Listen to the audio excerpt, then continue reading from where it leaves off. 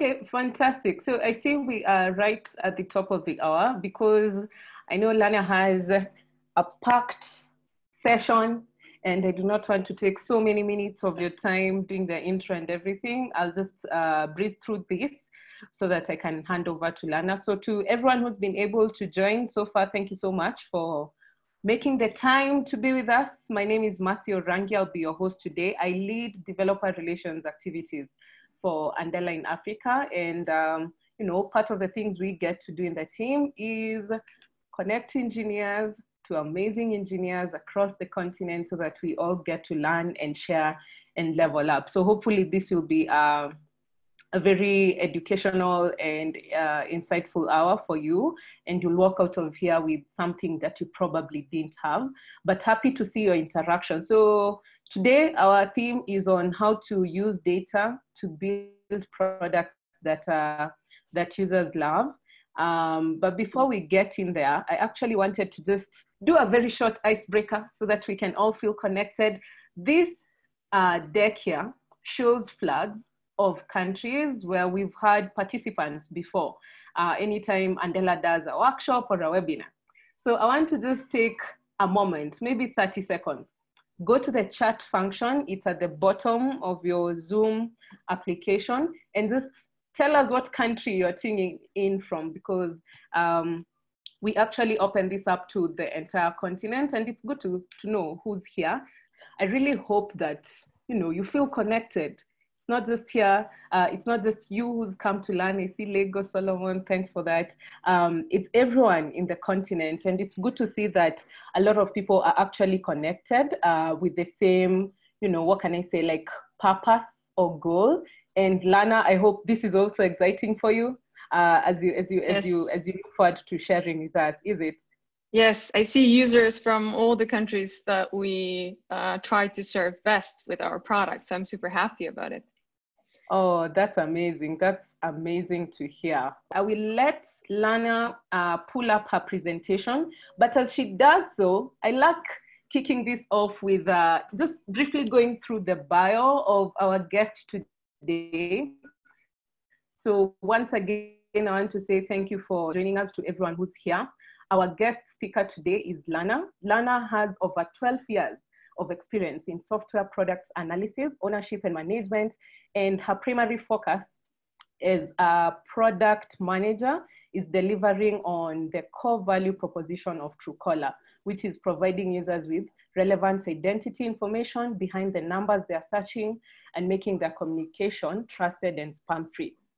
Okay, so previously, Lana has been involved in shaping and delivering both enterprise and consumer products and providing value in large organizations such as Sony Mobile and Ericsson. And during her many years of, uh, at Truecaller, she's been leading and supporting multicultural agile teams in delivering some of the most valuable Truecaller features, including Truecaller Identity Platform, the contextual ads servicing, uh, serving platform, and the first versions of the Truecaller SDK. So you do have a mega mind in here. Make sure you ask her all the questions that you need. But without further ado, Lana, over to you. All the best. Uh, thank you for the introduction, Mercy. I hope I'm sharing the right screen here. I'm multitasking and uh, I just want to make sure that you're seeing the right things.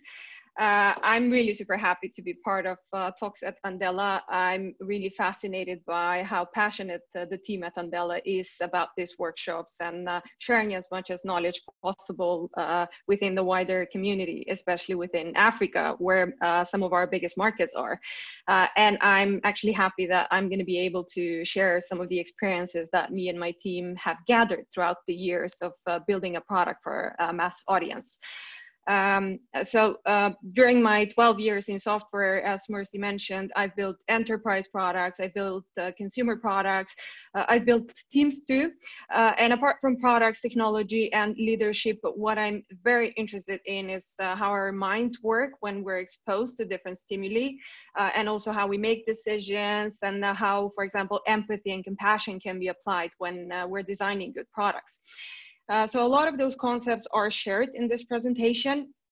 and um, uh, they're built on top of that interest of mine. And I just hope that this information that I will share today you will find valuable and you will be able to bring it to your organizations or your day-to-day -day thinking about what really matters when building good software products. Uh, so a brief overview of what we're going to talk about today. Uh, I'm going to go through Truecaller at, at a glance uh, for those of you that haven't heard about it. Uh, I'm going to talk about why you can't rely just on intuition. Uh, we're going to cover some of the common biases when building products, and uh, I'm going to give you some tips about how to overcome them. Uh, I'm going to give you some tips about how to find the, uh, the signals in the noise of information that we're consuming today. Uh, we're going to talk about why experimentation is prime. Uh, and we're going to round that with um, uh, how user research uh, can be used to inspire and empower.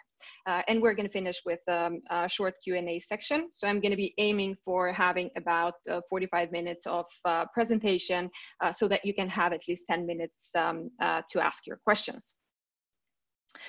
Uh, so Truecaller at a glance, um, uh, our founding story have began with um, uh, the old concept of uh, phone books and yellow pages uh, where people could just look up um, everyone else's number. Uh, and uh, Truecaller was founded in 2009 when um, uh, everyone started feeling the life-changing effects of mobile revolution, uh, which also came with uh, a lot of difficulties like uh, unknown mobile numbers, spam calls, undesired calls, privacy and security concerns. so, so we were kind of first there. Uh, and um, uh, this enabled us to position ourselves as um, one of the first and today leading caller ID and spam blocking platform. Uh, so from a call identification and spam blocking app, we have actually uh, transformed the application into a super app uh, offering 360 communication through calls, uh, voice over IP, messaging, and then we even have pay services in some of our specific geographies. some of our key metrics are uh, over 230 million million active users, uh, uh, for which we identify about 26 billion uh, spam calls um, uh, within a year.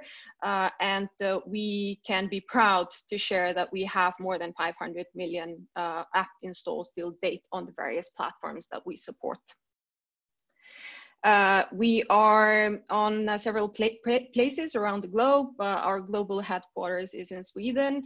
Uh, we have our Africa headquarters in Nairobi and our India headquarters in uh, Bangalore.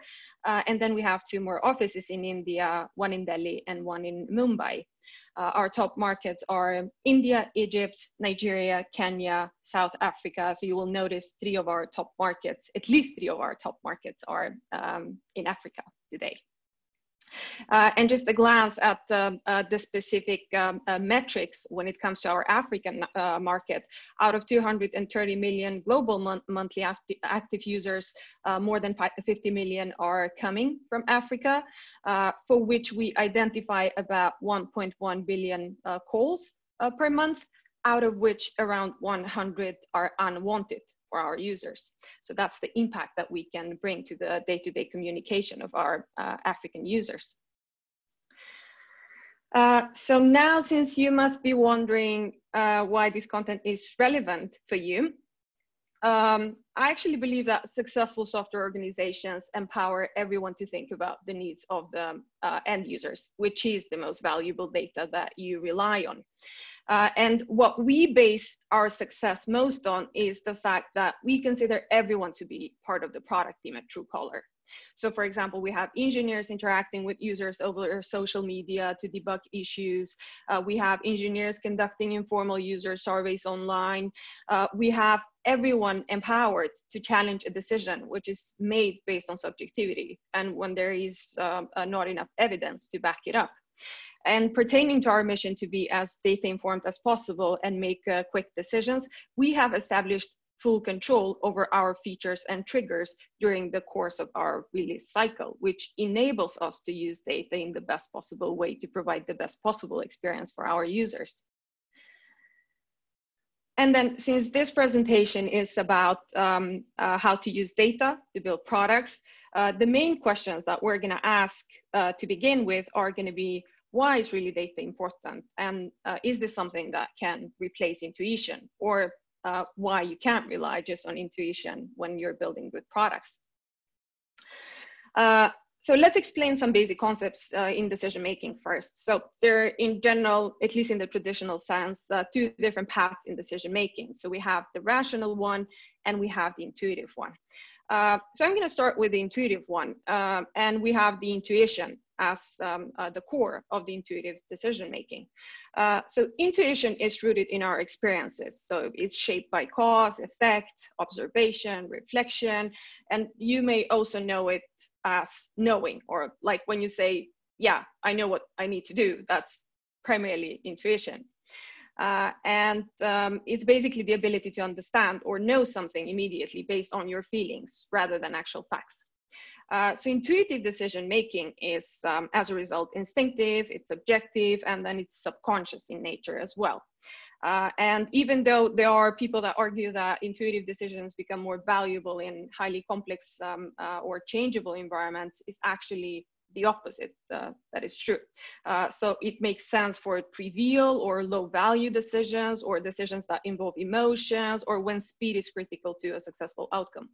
Uh, and then it still has a super important um, uh, place in decision making, but it has to be backed by uh, regular, rigorous analysis. Uh, on the other hand, we have the rational decision making, which uh, consists of a sequence of steps which are designed to rationally develop a solution. Uh, and then it relies on techniques on, um, um, for collecting and then processing data. Uh, so the decision making uh, follows a process starting from the problem until the solution, and then you gather information for analysis, and there is usually only single or best optimal outcome. And then decisions are objective, they're unbiased, and they're based on facts. Uh, but do you really need to choose between one or the other decision-making paths? And the truth is that data and intuition are not really on the opposite ends of the spectrum, especially when you're making decisions that real users are going to use. So intuition is important, but then it needs validation. So in a lot of cases, intuition could still be at the center of decision making, but it has to be supported by analysis. Uh, and the more options you have to evaluate, the more data you will have to weigh. Uh, so what we usually say is that it's not at all credible on its own, but it can definitely tell you when something doesn't seem right, even when the numbers are saying that everything works fine with your product. Uh, on the other hand, rationality is not always practical. So uh, sometimes uh, the rational analysis or data can be impractical uh, to be employed in certain situations. And uh, uh, examples are unstructured problems, when we have problems that lack clear decision rules or there are few objective criteria um, as to um, how to make the decision. Uh, like, for example, I don't know, aesthetics judgment regarding, uh, regarding whether a new design will perform better or worse. So every time you have an absence of, uh, absence of a definite criteria, when there are time and resource constraints, or when there are novel situations, uh, all of these um, uh, cases will limit the practicality of data if being used alone which actually leads us to the conclusion that the combination of intuition and rational analysis produces the well-rounded decisions that we actually need. So they allow us to approach the issue from various angles. So there may be times when intuition helps to narrow down the options, uh, which can then be analyzed in a logical or rational way. Uh, or then you can have the reverse when uh, initial detailed analysis may identify few options uh, that look equally good, uh, but then you need intuition to single out the right one. Uh, so it's reason and vision and context that stems from a healthy relationship between these two. So this actually points to uh, what we call informed intuition, which we consider as the foundation for innovation in uh, today's world. Uh, and uh, when you think about uh, informed intuition, I want you to think about it being the confidence that you get from understanding human behavior, uh, your specific user's behavior, and then practicing design thinking, um, exercising crea creativity, uh, and then having a passion for creating products that um, uh, delight the user and uh, also succeed on the market. Uh, which brings us to the actual decision-making paths that you really need to choose from in today's software world.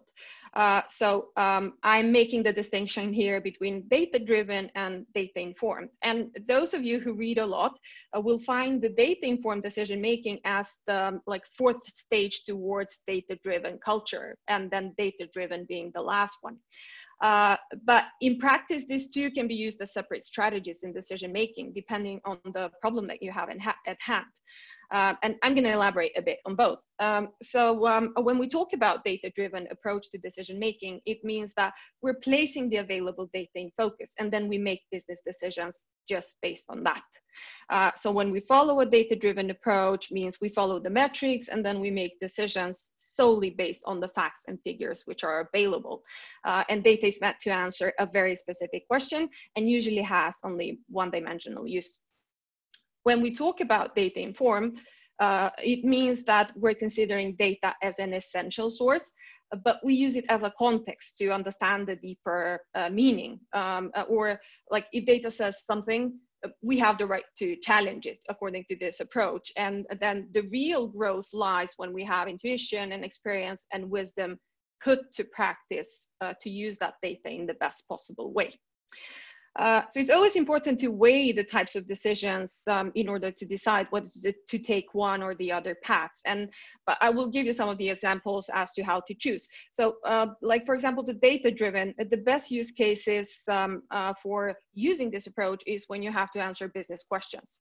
Uh, or let's say ensuring that changes to your product won't negatively impact the business. And uh, examples would be uh, like uh, uh, what design works better? Is it a version A? Or version B um, should you have tested both of them? Or um, how much money will we make next month so that I can plan my budget? So it's very specific, like you need data and then you sort of, you, you tailor the answer to that specific data. Or let's say, how will adding new features impact the product? So all of these are examples where you get to use the data-driven approach because data is the only thing that you can rely on. Um, on the other hand, one of the most important use cases where you need to activate the data-informed decision-making is, uh, for example, when you're doing uh, design or user experience. So the data will not be able to tell you what your product should look and feel like. So um, the only thing that it can do, it will be to assess whether a, a, particular design is helping your users in order to reach their goals or not. So when you need to decide between these two approaches, think about the type of the problem uh, that you're trying to solve first. Um, during my works, uh, during my years uh, working with uh, different products in different organizations, um, I have observed certain biases that have impacted the decision-making process in various organizations. Uh, and today I want to talk with you about the most common ones uh, and then uh, share some tips um, on how you can overcome them. so the most common biases that I'm talking about today are the HIPPO product decision-making, uh, focusing on power users and the different cognitive biases that exist in decision making. Um, so uh, the HIP abbreviation stands for highest paid person opinion. Uh, and this is also called in the product world as uh, authority bias. Uh, and what this bias refers to is um, um, the decision-making process, which is um, uh, done by one or few internal stakeholders, uh, which are in a position of power. Uh, and usually decisions are characterized by um, uh, skipping critical assessments and uh, being guided by common wisdom uh, and not much evidence in data, which actually results for too much of the roadmap uh, to be uh, based on opinion. Uh, and this is basically a common way of how a lot of organizations make the decision uh, in the beginning of a product launch or in the beginning years of business. And then as organizations grow, so does the organizational chart, and so do more people need to be involved in the decision-making process so that they can do their job better. So some of the tips on how to overcome the um, HIPPO bias is uh, um, uh, to actually depersonalize the decision making process. So these uh, decisions uh, usually have emotions as a background. Uh, so it's important that you use data to take the emotions and opinions out of the decision making process. Uh, that means for every opinion, you need to be able to use data in order to counter that opinion if the opinion does not match what um, the users really need or what the users really want. Uh, so uh, that's where we come to the second point, which is uh, bring in the customer voices, uh, bring competitive data, uh, use other external benchmarks uh, in the analysis. or the most important thing is to find low cost ways to gather the initial data from the customers. So uh, do a low effort experiments and uh, examples could be like just talking to a few users a day. They don't have to be many, but you need to start um, uh, having that dialogue with customers and bring uh, customers data in. Uh, and then what's important is also to use data to cover what the HIPPO is concerned with the most. So this decision making, as we said, has emotions as a background, and those emotions could be just worry about the bottom line, could be worries about uh, uh, the ability to attract users or how the impact on user experience will be. So if you have data that speaks to the highest concern of the highest paid person, then this will uh, help to make the decisions more rational. Uh, the next one, which is super common in today's um, uh, product world, is uh, focusing on power users. So uh, let's get the definition straight for power users. So these are users that are usually most active on your platform. They're more visible, they're easily reached, uh, they're more responsive, and as a result, they're overrepresented in data. they're likely more positive about your product and could be more forgiving but note that they're more demanding. That's why we call them enemy of simplicity. So they're more likely to push for non-essential features or like push for something, let, us say 1% of users pushing for something that 99% of the users do not really care about. Um, and then your desire to keep your power users happy and you founding your product decisions just based on them can lead to an over engineered software. Uh, and that's going to have a very messy and complex interface. And that will not work for the average user, which is the biggest concern here. So, what you really need to focus on is um, setting up unified product vision. So you need to consider your target users, you need to consider your use cases, and you need to consider the future direction that you want to head towards. Uh, and you need to think about uh, use cases or what are the problems that um, your product actually solves. Then you need to think about the personas, uh, which are the specific people that you want to reach. Uh, so you need to look at the user base objectively, like who are the people that you're making your product for and why do they need what you're making? Uh, and then you need to try to get specific. So you cannot really just settle, okay, anyone who wants to buy my product, that's my target audience, because it usually doesn't work that way. Uh, and the most important thing is that you need to stay focused on the goal to provide real people something of value first. And then you will focus on uh, who your power users are and what they actually want. Uh, and I actually have a great example of um, uh, like how we deterred from power user buyers bias when uh, we were trying to retire one of our apps. Uh, so uh, back in 2016, um, after a long consideration, we decided to retire TrueDialer, which was an app that was used and loved by millions of users. So it was our own dialer application. Uh, and we had Truecaller, its older brother uh, that has been reliable source for identity information for our users. But like most of our use cases were shared between the apps. It made no longer business sense for us to develop and maintain uh, two different applications. Uh, and then our strategy or direction was to embark on a journey to create a full communication experience for our users. So um, uh, starting to enrich the use cases of Truecaller was the first essential step. And these comments that you're going to see here are coming from power users. Like they, they were angry at us. Uh, and uh, the feedback was negative. They wanted to keep the app. It was simple for them. That was the only thing that they wanted. But uh, at the same time, while we were doing this, we were collecting data, and the data was telling us something else. Uh, so, uh, and this sort of like points to uh, a common um, inconsistency that we sort of um, see in the product world that people say one thing, but the data shows uh, something completely different, or there is a difference in what the users say versus what the users do. Uh, so the data showed that the users were consistently moving from one app to the another, and then with some resistance, uh, they were adapting to the new interface. Uh, and there was a negligible churn as well, which was the most important metric that we were tra uh, tracking. So what we did, of course, is um, uh, we acknowledged these users' concerns, um, uh, but we had to stick to our unified product vision. And that vision was that we want to provide unified dialer and then searching experience on top of it. And we want to support all the use cases for our users without having to move them between the two different apps. We were also setting uh, up the foundation for uh, the creation of a 360 app uh, that we have become today. Uh, we had to focus on the use cases, which means that uh, our users should get a comprehensive dialer experience and then search experience in one app. So that was our goal. Uh, our personas were users in developing markets using mid to low range uh, Android devices, which means we have to make our application work even for the lower end devices as well. And we want to provide a good user experience. Uh, and then um, uh, these users are those users that are facing the problem of receiving a lot of unsolicited communication per day, which is one of the biggest problems that we're solving. Uh, and then when focusing on value first, we wanted to provide at least the same experience that they had on TrueDialer before, plus the Truecaller features that um, uh, they already appreciated um, uh, at that time. Uh, and then the bottom line of all this is always acknowledge what the customer is saying.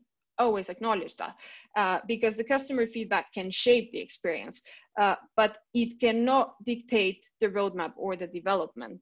Uh, so users have problem. That's what you need to be thinking on. And um, uh, but the way that you're going to solve uh, those problems uh, needs to work for the average user. Uh, so now let's talk about several cognitive biases in the decision making. Um, uh, cognitive bias in um, essence refers to like all the ways that our mind distorts information to match our existing preconceptions. Uh, and there are four different um, uh, types of um, uh, cognitive biases, at least that are more common in the um, uh, product world. Uh, we have the rose tinted spectacles, uh, which is um, when we're searching or interpreting or focusing and remembering information that um, matches our existing assumptions. We have the availability cascade, uh, which is when you become personally invested in an idea that you have proposed. And then uh, it's basically that self-reinforcing process that the idea becomes more plausible uh, when it gets repeated uh, in public way too often. And like politicians are a good example for this one. Uh, and we have uh, the bandwagon effect when we have um, people that tend to uh, belief in certain things just because there are many other people that believe um, uh, in the same thing. Uh, and then the last one is groupthink when we have a group of people that all want to keep each other uh, happy and then they avoid conflict and uh, they try and maintain peace. Uh, I'm sure you have noticed what are the problems with all these examples that I've mentioned. So fear or ego or both of them uh, are getting in the way of making the right decisions and taking responsibility if cognitive biases are present in the decision making process. And this is a serious problem uh, in terms of how you interpret the data and what kind of decisions are you making uh, based on that. So to overcome this, uh, the first strategy is to always have a devil's advocate in the team. And that is usually someone that pretends in an argument or a discussion uh, to be against an idea or plan that a lot of people support, or it could be just a problematic decision maker that it uh, that supports that idea, uh, in order to make the people to discuss and consider it in more details. So always have a devil's advocate in the team. Uh, another important thing is to have a, a, objective point of reference for decision making. Uh, like for example, you have to have rules and principle for UX. You have to have uh, tech and business rules when you're discussing your product strategy. Uh, it's important that also constructive debate is encouraged. It's important that people are not afraid to get into conflict. So a safe space needs to be created. And um, related to that, sort of the most tangible technique that you can use is the five whys. And uh, that entails that you keep debating and you keep asking why until you can agree that either the idea is worth pursuing uh, or it just needs to be dropped. Uh, so we've established that data is important, uh, but like how do we make a proper distinction between what to heed and what to ignore? Uh, and this is a very important question due to the abundance of data that we encounter today. But I like to say that there is good news and there is bad news. And the good news is there is a lot of data available out there. And the bad news is there is a lot of data available out there. So uh, data is inexhaustible uh, and you may be tempted to look at all the possible trends that may describe how your features are used.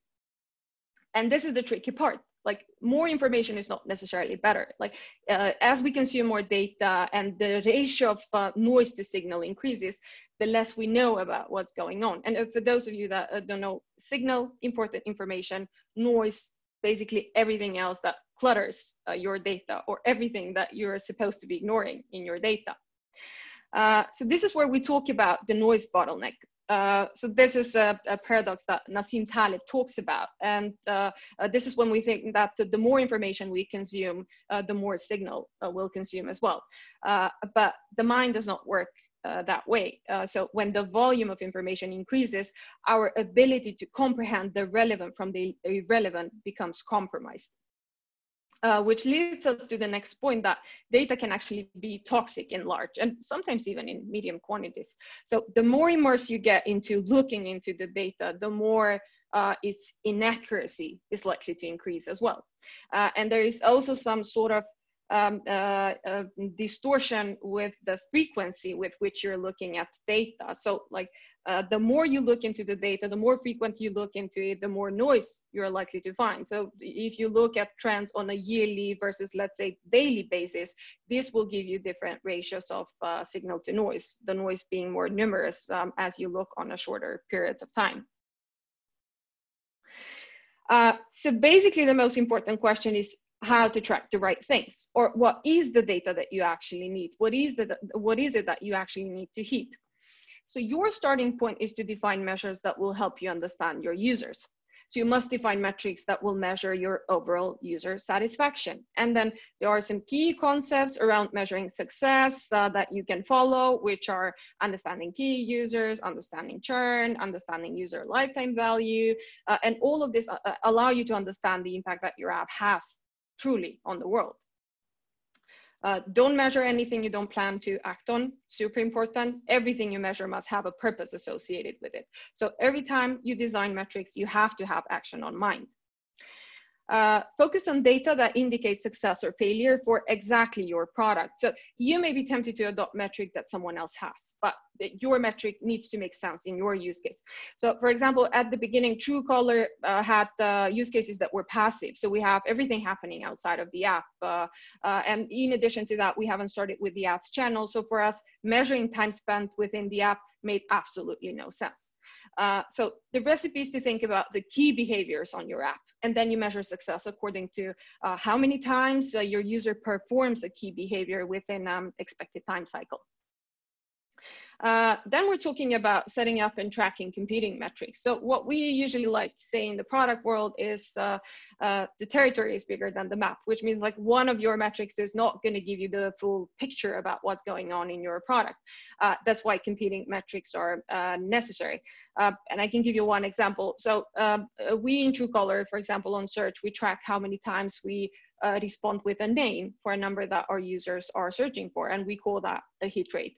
Uh, but that really doesn't talk about what's the quality of the names that we return to our users or how the users find this uh, metric valuable, how, how the users find these names valuable. So we need to establish a metric for the quality. So the soft spot is somewhere in between, uh, finding the right quality uh, for providing just enough names to our users that make sense to them or that are valuable to them.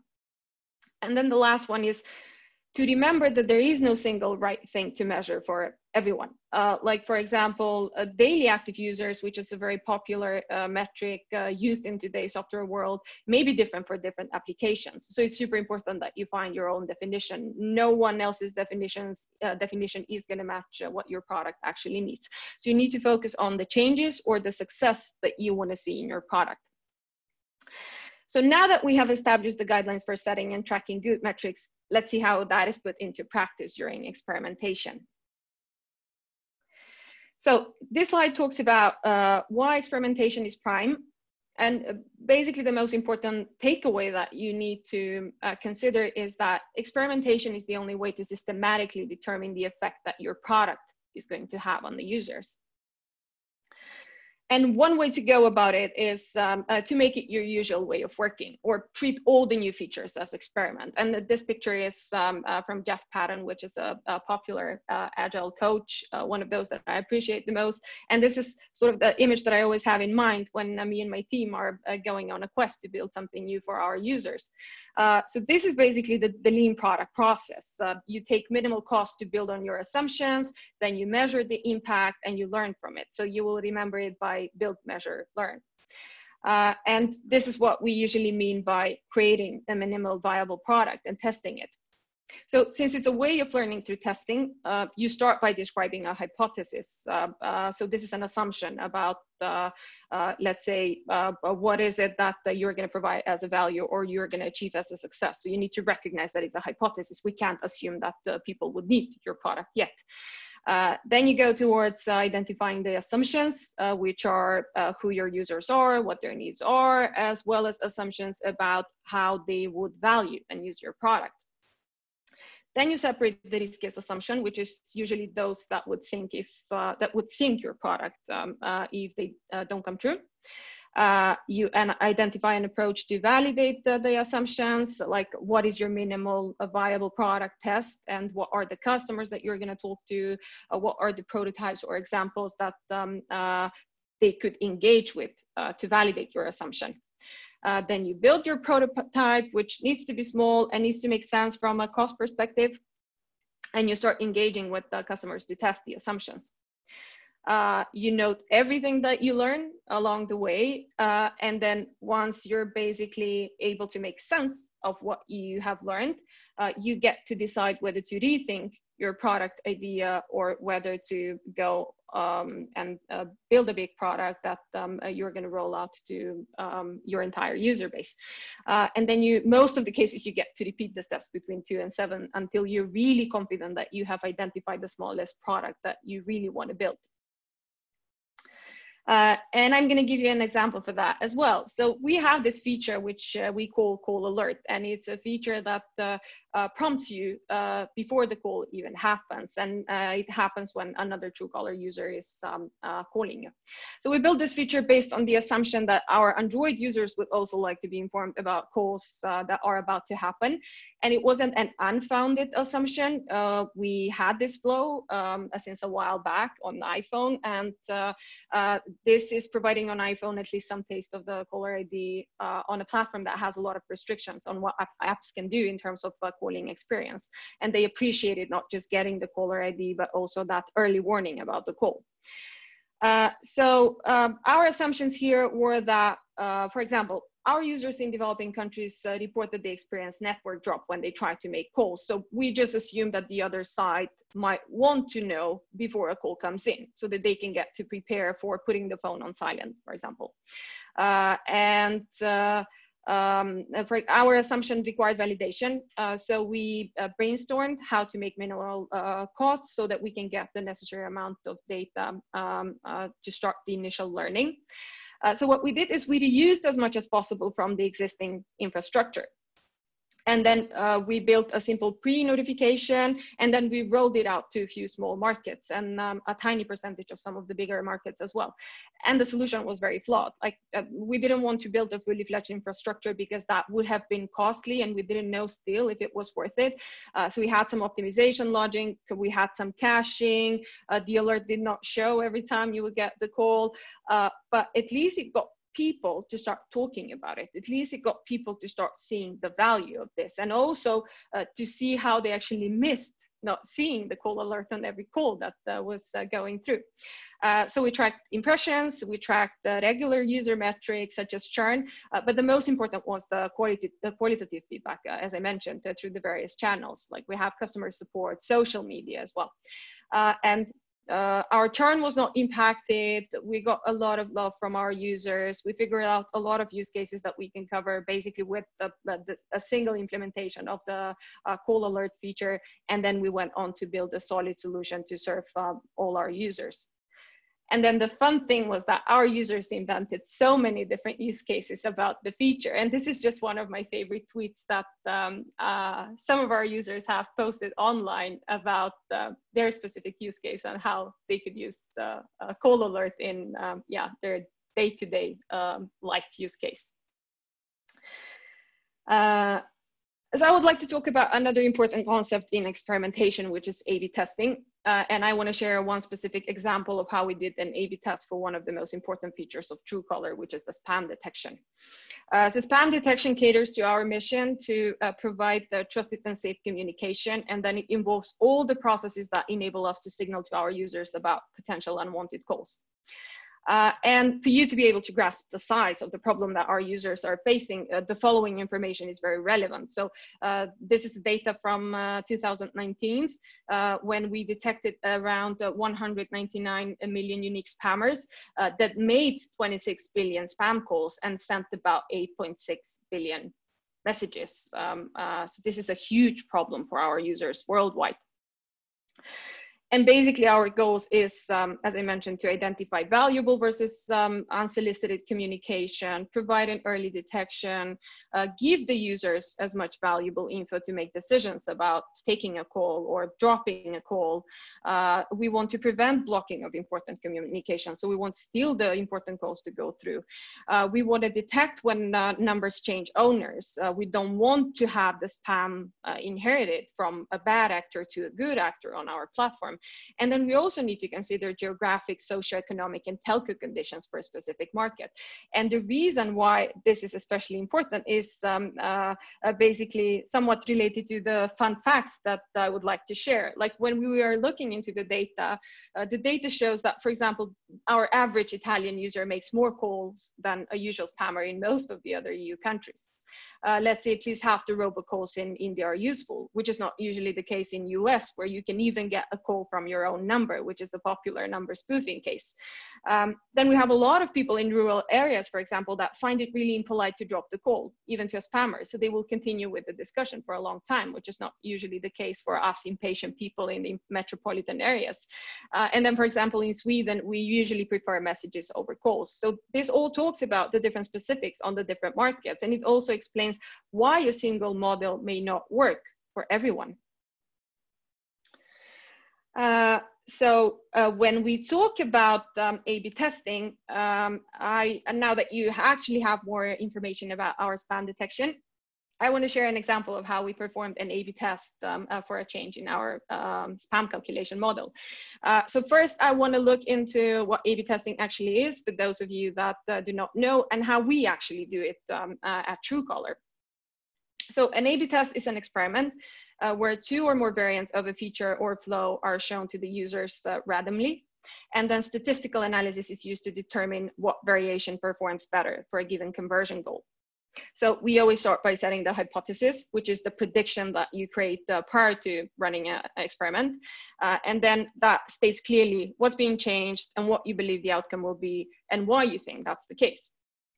And uh, for example, uh, in our case, uh, our hypothesis was that if we change the calculation in a X way, uh, which sort of goes more into the details of the implementation, uh, we will achieve 10% improvement in spam detection. So it shows what is it that is changed, what is it that we're aiming to achieve. Uh, the next stop is setting metrics and tracking. So you set up the analytics infrastructure that you are going to use to track the signals uh, from the split testing. So it requires defining the KPIs, adding necessary logging, uh, and then you also set up some notebooks and some dashboards for tracking. Uh, and let's say in our case, we said, now we're going to track how the numbers are being marked as spam versus not spam. Uh, then what you do is you need to plan the test and then you need to decide on the sampling. So uh, depending on the use case, you need to decide on the share of the audience that is gonna um, uh, get the tested the behavior. Uh, so uh, you need to be mindful that this needs to generate enough data for you to be able to make uh, good decisions. Uh, and in our case, we picked random 20% of our users in India, Nigeria, Egypt, and Malaysia. So uh, we do sanity checks afterwards, and that's usually a basic check of the hypothesis. So we need to make sure whether uh, the metrics and the dashboards are set. Um, uh, we need to make sure that uh, uh, the right users are getting the right uh, behavior. and then basically we need to make sure that the testing group is not gonna get broken experience, even though it's a, a minimal viable product that you're actually testing. So in our case, we tried comparing significance differences, um, uh, ensuring that the right results are served, and making sure that our users will always be protected from top spammers, regardless if they're being tested uh, or if they're actually um, uh, falling into the uh, controlled groups. And then you can do AA test, which is usually run to make sure that your testing is unbiased. Uh, and this way you ensure that um, uh, the group you have picked uh, uh is going to be, uh, uh, you actually ensure that both of the groups um, are having the same experience. so when you run the test, you know that um, you can rely on the results and not always AA test uh, needs to be performed. Uh, we have a huge audience, so we do prefer to uh, run AA tests so that we can make sure that our sampling is done in the correct way and we can trust um, uh, results from the test. Uh, so uh, this is what it usually entails, serving the A experience to both of the groups to ensure unbiased sampling. Then you start running the experiment and then you track the uh, metrics, which means you serve the users based on the groups and then you check your dashboards all the time. Uh, when the time is right and usually should be a minimum of a week of running a test, but usually depends on your use case and how much data um, uh, you think you can gather. So remember, it has to be significant amount of data for you to be able to make good decisions.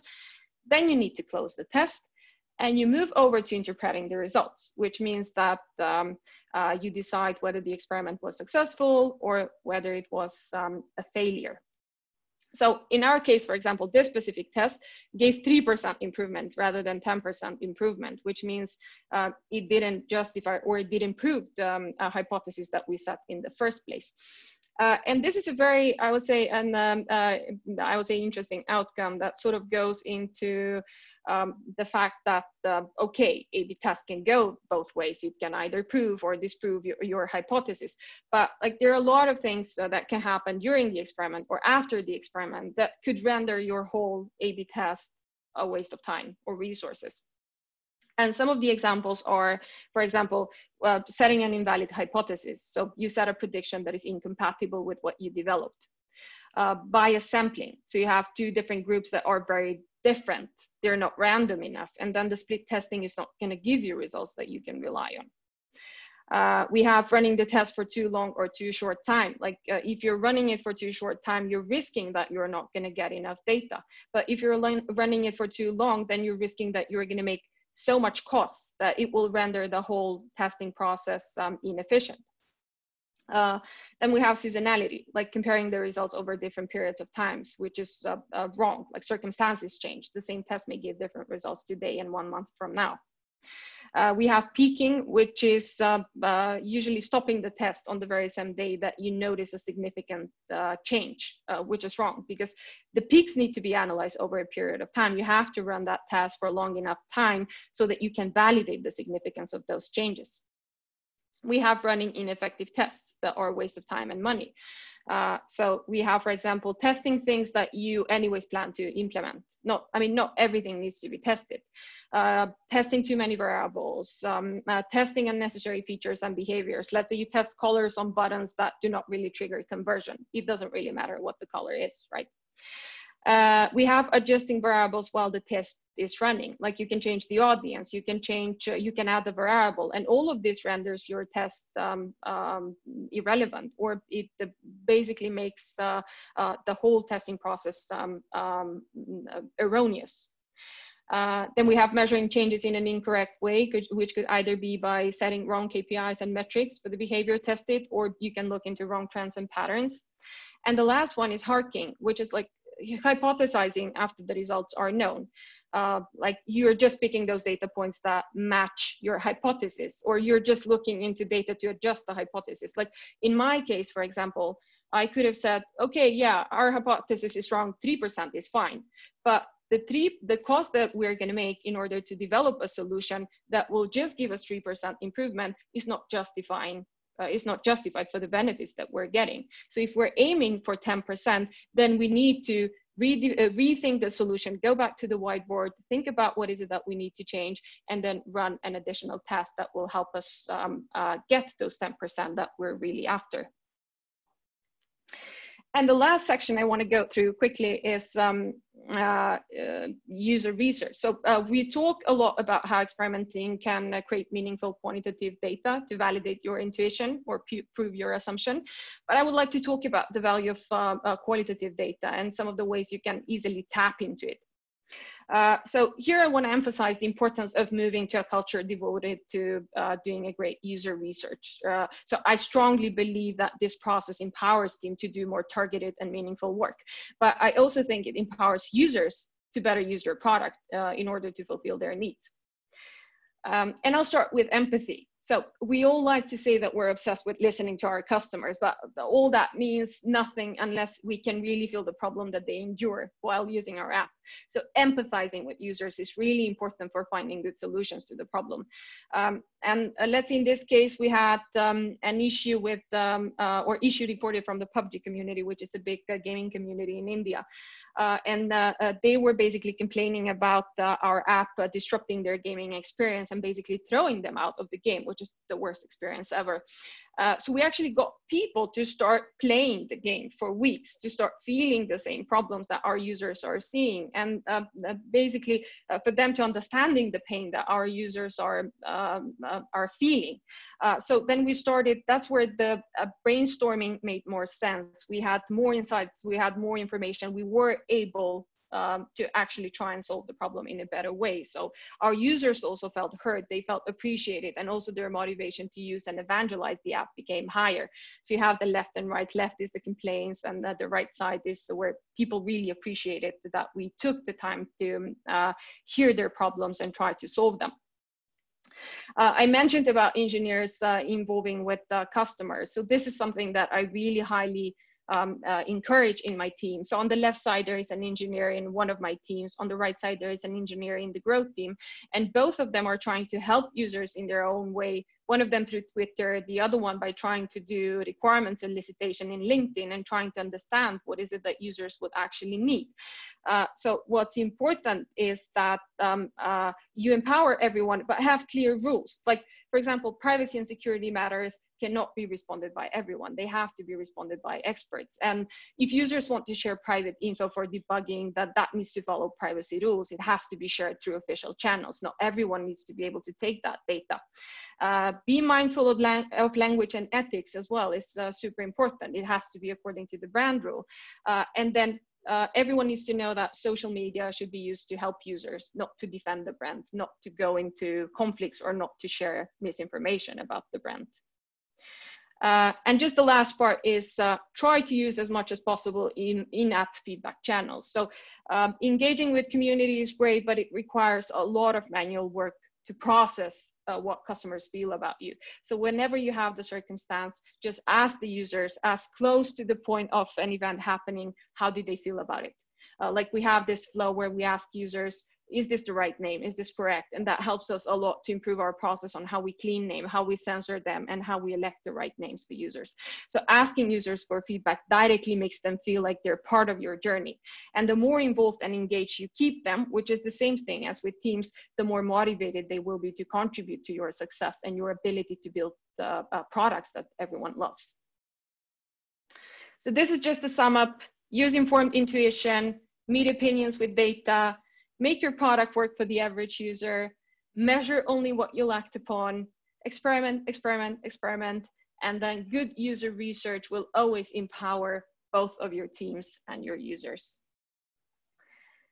And I'm sorry for taking a bit longer, uh, but I uh, really put a lot of love into this content and I really wanted to make it valuable for you so that you can have something to take with you. So I hope I'm gonna have time to answer some of your questions now. Thank you so much, Lana, once again. We appreciate having you here. We had fun, uh, given the number of questions that are also coming in. But to everyone else who's on the call also, thank you for joining us. We hope you've been able to learn uh, something that you probably didn't know or a question you had has been answered, we appreciate you. So keep engaging with us on social. You're going to find uh, upcoming events, similar events, and we are happy to always have you. So enjoy the rest of your day. Thank you so much. Thank you, everyone.